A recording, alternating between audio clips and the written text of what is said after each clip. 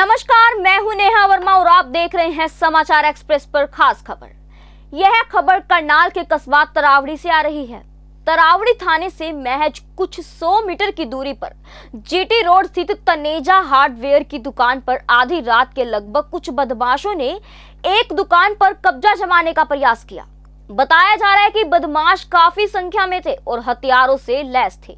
उन्होंने दुकान का शटर तोड़ डाला। और भीतर घुस गए इसके बाद उन्होंने सामान उठाना शुरू कर दिया और बाद में उन्होंने तोड़फोड़ भी कर दी।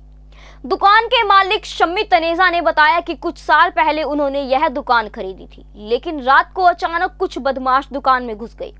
बताया जा रहा है कि जब इस घटना की सूचना दुकानदार शम्मी तनेजा को मिली तो वह अपने पिता को लेकर आधी रात के बाद ही दुकान पर पहुँच गए थे। इसके बाद उसने तुरंत पुलिस को भी सूचित किया। हालाँकि पुलिस रात को ही घटनास्थल पर पहुँच गई थी, लेकिन बदमाशों की हिमाकत देखिए कि सुबह फिर दो दर्जनों से अधिक बदमाश हथियारों से लैस होकर वहाँ पहुँच गए और उन्होंने दुकानों पर कब्जा भी जमा लिया। कमाल की बात तो यह है कि बदमाश सात लगते गाँव के बताए जा रहे हैं। यह मामला जानबूझकर भूमि विवाद से जोड़ा जा रहा है, जबकि दुकानदार के पास सभी प्रमाण मौजूद है। हालाँकि इस मामले में पुलिस ने मामला दर्ज कर चार बदमाशों को गिरफ़्तार तो कर लिया है लेकिन दिन दिहाड़े आज सुबह दुकानदार के खिलाफ की गई इस कार्रवाई से पूरा तरावड़ी सख्ते में आ गया है। सूचना मिलते ही शहर के सैकड़ों लोग थाने में इकट्ठे हो गए। यही नहीं, दुकानदारों ने तरावड़ी पुलिस के खिलाफ थाने में ही रोष व्यक्त भी किया। बाद में इस मामले की जानकारी सांसद को भी दी गई। सांसद ने इस मामले में हस्तक्षेप करते हुए पुलिस को कार्यवाही करने के निर्देश दिए। पहले हम आपको रात घटित हुई इस कार्यवाही की कुछ तस्वीरें दिखाने जा रहे हैं।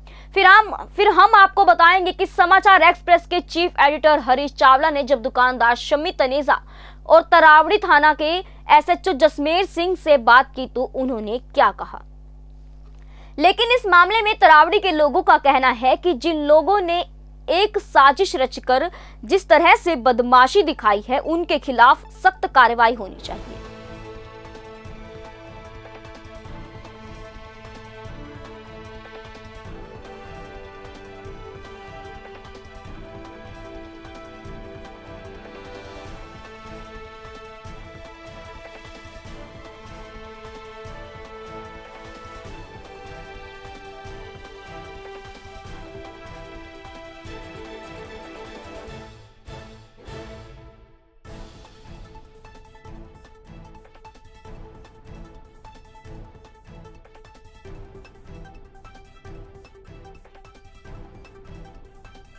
हाँ जी शम्मी जनेजा बोल रहे हैं हाँ जी। हाँ समाचार एक्सप्रेस से चावला बोल रहा हूँ। ये क्या मामला था रात आपकी दुकान में?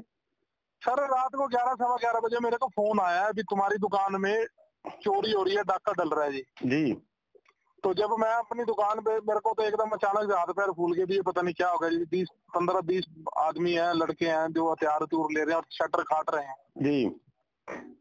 तो जब मैं उठा अपने डैडी को उठाया मोटरसाइकिल पे आने लगा तो मेरे को पुल जब अपनी दुकान की तरफ़ जीट रोड की तरफ़ बढ़ा तो पुल के पास पीसीआर मिल गई पुलिस की जीप हम्म।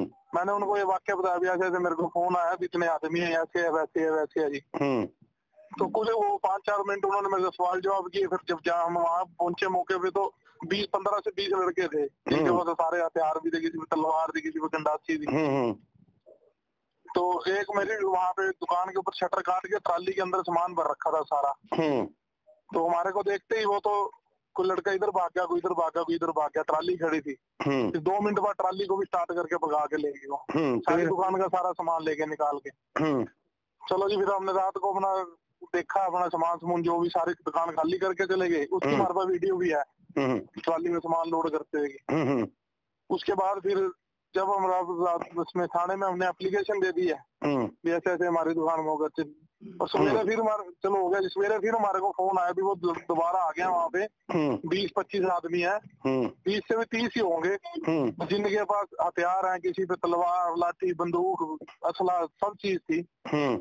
वो आगे दुकान में तोड़फोड़ करने लग गए सारी हम्म। दुकान तोड़ी है उन्होंने ऊपर नीचे पानी की टंकियाँ अंदर जो हम्म। फिटिंग बची हुई थी सामान तो लेके उठा हम्म। फिर अंदर कब्जा करके बैठ गए वो। अच्छा। हाँ जी। तो अब तीन तीन चार घंटे कब्जा करके बैठे फिर उसके बाद हमारा सारा बाज़ार इकट्ठा हुआ सारा समाज इकट्ठा हुआ जी। हम्म। तो फिर उसके बाद थाने में आए थाने वाले फिर कार्रवाई क्या खानी कर रहे थे ये है वो है ऐसे है। हम्म। फिर एमपी साहब से हमारी बात हुई एमपी साहब ने थाने में फ़ोन किया। हम्म। फिर उसके बाद एसपी साहब ने फ़ोन किया थाने में तब जाके एस एच थोड़ा हरकत में आया। फिर उन्होंने गए वहाँ तो उनको तो उन्होंने भगा दिया। फिर भगा दिया जब दोबारा थाने में आए भी मैंने उनको भगा दिया। फिर उसके बाद इकट्ठे हुए भी हमने भी उनको भगा दिया अरेस्ट क्यों नहीं करके लाए? फिर हम्म दोबारा जिप्सी लेके गए तीन चार उनके आदमियों को लाए हैं पकड़ के। हम्म। बस उसके बाद अब उन्होंने कह रहे हैं हमारे को टाइम दो शाम तक का कल तक का तुम्हारा सारा सामान बरामद कराएँगे। हम्म। और उनके जो भी धारा लगेगी उनकी तरफ़ धारा लगा के उनका मुकदमा दर्ज करेंगे। तो सामान आपका मिला है? नहीं जी अभी तक कुछ नहीं मिला जी। तो दुकान पे कब्जा आपका हो गया? हाँ जी दुकान खाली हो गया शटर शूटर सारे टूटे पड़े हैं वो मैंने आपको फ़ोटो भी भेजी है चलो देख लेता हूँ ठीक है समझ हाँ जी